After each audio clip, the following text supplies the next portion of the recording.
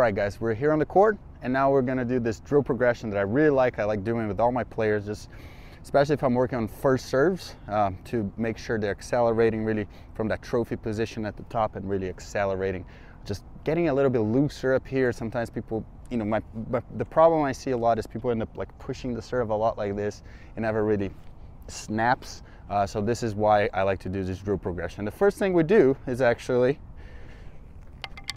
drop the racket, get a little football and throw the football. A lot of players do this. I actually have a a theory that Americans have good serves because they grow up throwing footballs. It's just sort of very similar mechanics. I apologize for my, my terrible throwing here because I'm not very good at it, but I, I like to do it. It's a great way to warm up the shoulders and just like let it launch. So I do this, this is one of my, my players. We do this every time he's about to serve. So just nice and easy, throw, throw the football, you can do a few just to warm up and then slowly start getting a little bit more, a little bit quicker off the top here. Obviously with time, start adding your body as well. I actually like throwing it a bit higher because it's a bit more, um, more like tennis where you're having to, to extend up right on the football throw a little bit more here sometimes. So actually throwing it up a little bit, kind of making it go nice and high sometimes can be helpful just to allow the the shoulder to really go up.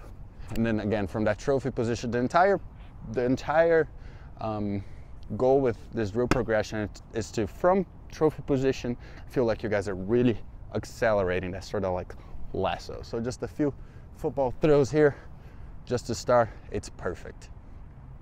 Nice. Dropped it. All right, so the second drill we're gonna do, and I really love this one, um, we're going to be start here from the service line. This is going to really help you work on that pronation, accelerating at the top pronation. The key is to be really quick up, right? From here, very fast up. After that, it just sort of slows down naturally, but like from the trophy position, accelerating, accelerating up. And what we're gonna do is try to hit just from a half swing here. So put yourself in trophy position, not full stroke, trophy position, okay? Don't use too much of your legs, just use good amount of shoulder here, this lasso, right? Letting the racket drop and then try to hit as short as possible on the box and as fast as possible, okay? So you see you get I got a cone there and from here, I'm not gonna toss it too far, far up, a little bit more in front. I'm just gonna try to smack it as much as possible. Again, not using too much legs here. I'm just going up here and I really want this to happen really quickly, right? So here, boom, as fast as possible. See how I have to accelerate, highest contact point, right? Put your racket up here, check what your highest contact point is, right? Right here, boom, and then from here we can pronate, obviously cut it if we needed to, but here for this, we're going bah, as fast as possible, see? Boom, right? So Wesley, come here, do a few. Okay, so half stroke, good. Okay. There you go, you pulled it. Make sure you're pronating, try to short as possible on the box. Here we go.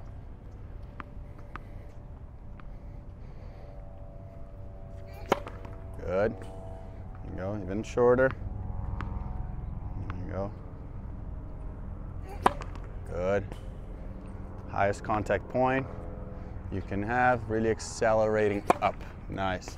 Let's do pronate it a little bit more. That's how you're gonna make it go short on the box, huh? Nice, there it is, short on the box. That's what we wanna see. A few more. And you can do it, again, if you're training this at home, a switch is kind of pulling. It's, it's a couple things that he did here, still kind of bringing the chest in too much, right? I think that's why a lot of people try to serve big. They bring the chest in too much instead of actually allowing the racket to move more with like the shoulder here not bringing the chest too much and again pushing it. That's when he misses, he pushes. So here, boom, you see, making sure the racket, the shoulder is leading the way, right?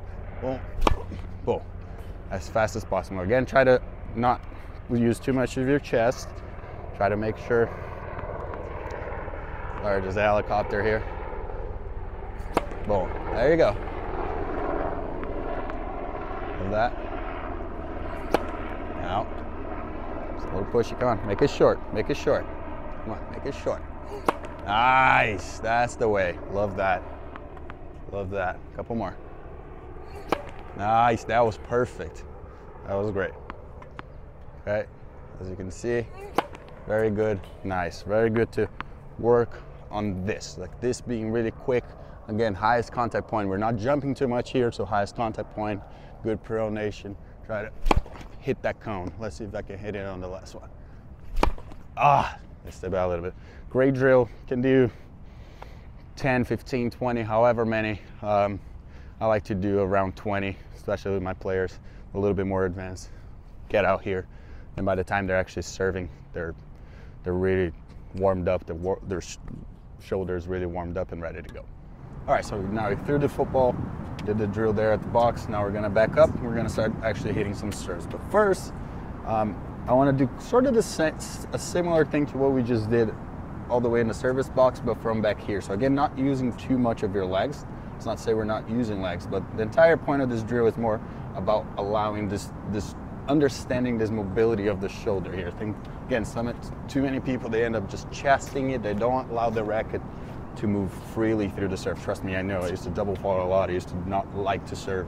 So I get it. Like you're not fully comfortable at really making this throw. So from here, and again, we don't want to do it too much so the shoulder doesn't get too sore, but um, we're gonna just do serves without using the legs. So full motion here like this, but just allowing this to happen. Even if you have to step into the court a little bit, that's fine. The idea here is highest contact point. We need to understand that this is the position that the racket will be able to snap. If we're allowing the, the ball to get too low, then we're gonna end up pushing the ball, right? Highest contact point so we can snap. So again, I'm gonna go full motion here, but without really using the legs. I'm just gonna really make sure, wow, I'm like letting it go. Okay, so just here, no legs, just pull, letting it go. Just completely letting it go, not to worry about making it. Just fully let it go. And see, even without jumping, I can still hit a big serve just because I'm at the highest contact point that I can hit the serve here. It's the highest contact point. See, I just go here, just letting it go, sort of working on that pronation. Boom. All right, so Wesley, do a couple here. Again, not using too much of your legs. The toss can be a bit lower here. Toss doesn't have to be super high. No, full, full motion. Full motion, but with no legs. Just highest contact point and really, there you go. Nice. Just make sure you see that ball peaking. You go get it. Again, really get into the court. So that was great. That was a great serve. Sometimes we end up like using the legs a lot and we have actually like lose the tempo of the serve, the tempo of up here. Right? Like sometimes it's like go and then and then lose the tempo where if you're just sort of like nice and easy here, you actually hit a pretty good serve and then eventually you just kind of add your legs to it. Here, do it again, Wes, a couple more. Just nice and loose, boom. Nice and loose, try to pronate it at the top highest contact point you can get. There you go. Highest contact point you can get. You see he's already his shoulders pretty loose. Just hitting the ball nice and big. There you go. One more. Nice. And you can do it from both sides. Again, we're doing this side because I like it better. I'm doing this side because I like it better for the pronation here, but you can do it here on this side as well, just sort of falling into the core. You see, I'm allowing my body to go into the core, right? That's drill number three. Not really a drill, just again, working on that fluidity of the motion. All right, now we really loosen up the, the shoulder. I think we can really let it go now. Now it's time to add the legs, right? And a good drill to, to add the legs, and it's gonna be a little awkward. Some people might, might struggle with it but it's actually serving on one leg, on the back leg. So I'm righty, my, my right foot is the back leg, and I'm gonna be here, right? So I'll just try to jump, pushing um, from my back leg. I think a lot of people end up, like they lean forward a lot on their front leg and they the left the back leg doesn't actually get to push and you see all the good pro players they they land like all the way here with the legs up here right because they push this happens because push happens from the back leg, right? It's impossible to push and not do that. That's what we're looking for. We're looking to add this right leg, regardless if you are here a, a more uh, pinpoint server or a platform server, doesn't really matter. So you get the, the balls here. This one I actually like doing half swing again just because it's a little bit easier on the balance. So rack it up here, get on one leg, the back leg, toss it, and don't toss it too high because you're gonna lose balance. Toss it a bit low and push, okay? Again, one leg, toss it here, boom, push it forward. I wanna see you guys landing inside the court, okay? Landing inside the court. Boom.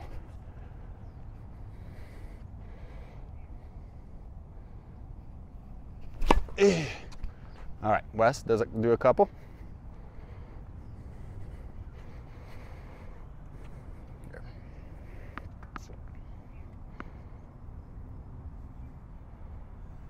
It's difficult. It's okay.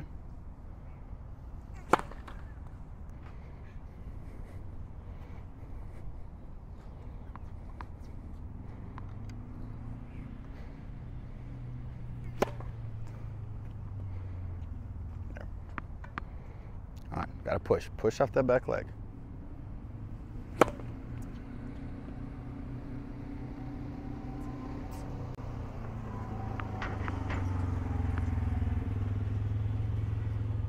On.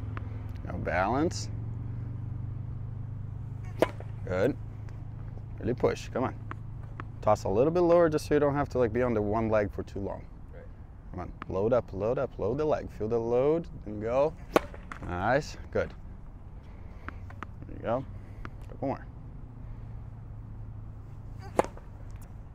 Nice. One. Can do a bit more. Come on.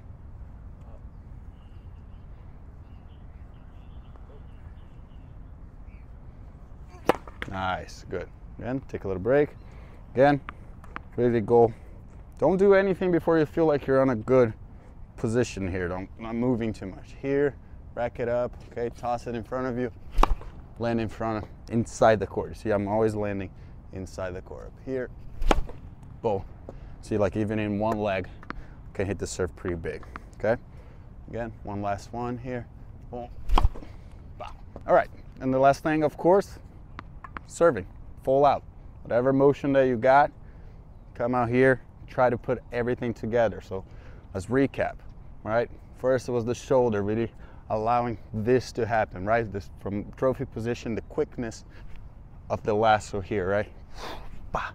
Trusting that if you actually do this, you hit a good serve, that you don't have to go here and sort of push it like that, right? Like kind of like, oh, like that. See, like the racket never leads the way. I want to feel like the racket First, my shoulder will lead the way, but then the rack after the contact will lead the way. Okay, so that's the main thing. Then obviously the second part here, really using the, the right leg, the hips.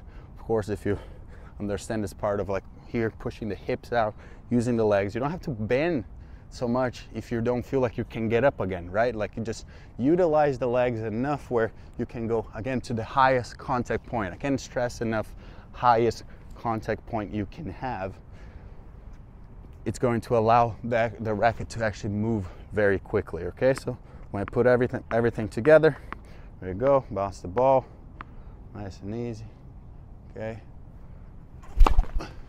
And you see, that was a big serve. That felt good, didn't feel like I put too much effort, effort into it. Lower body, upper body connected loose upper body, lower body, pushing up.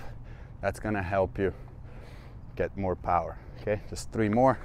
Obviously we did a lot of pronation here, but the same applies if we wanna kind of cut it into the T as well, right? Then you just change the direction. That's all it is. But again, I wanna connect the lower body, loose upper body, and hit it. Can get it. That wasn't the highest contact point. Come on, Karue, highest contact point. Go up and go get it. See the difference? All right, Wes, come on. Show us the way. There you go. Remember, don't need, don't feel like you need to overuse the legs. use it just to get up to highest contact point.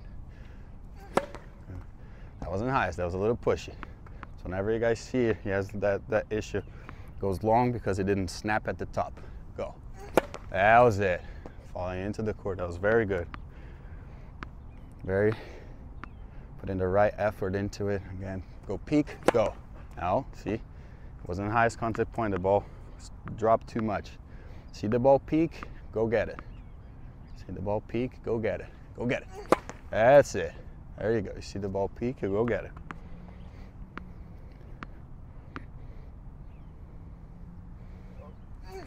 Nice, there it is. Come on, give me three more.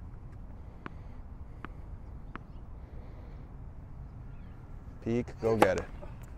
That was a bit pushy. See that difference? Sometimes when the racket goes a bit too here and not, it didn't snap, that's when it goes long. That's it. Last one. Last good one.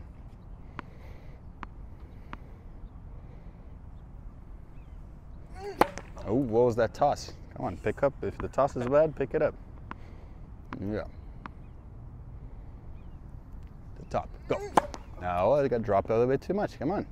Highest contact point. Watch it peak. Smack it. You gotta go get it. Go. There it is. Oh, one more. One is luck. Two is good. All right. Highest contact point. Just watch the ball up there. He peaks. Go. Now, come on. Come on. Oh, good. Highest contact point. Accelerate. There you go. Okay, again. Like you're trying to hit the cone there. Remember, try to hit the short cone. Really smacking it down. You're tall. Come on. There it is. There you go. Remember how you're trying to smack the cone right from up top, from the service line. Try to do the same here. Highest contact point. Smack it. There it is. Perfect. All right. All right. So that's it for this drill progression. I think it's really good, especially if you're trying to work on your first serve. Second serve will be a bit different. Still like a lot of speed through the shoulders, but